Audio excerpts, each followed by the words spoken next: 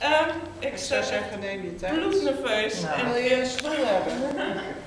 nou, ik weet niet of dat eh, misschien, ja, ik weet niet. Nou, als je denkt halverwege, of nou, een paar zinnen, ik ga toch liever zitten, ga je gewoon lekker zitten. Ja, oké. oké. Nou, dappere dodo, zet hem op. Yes. Oké, het eerste gedicht gaat over ehm, passie. Passie, een verlangen dat je niet kan weerstaan, waarvoor je wilt gaan. Passie toont lef, passie toont besef. Passie, het onophoudelijke gevoel van gedrevenheid waar je ergens naartoe leidt.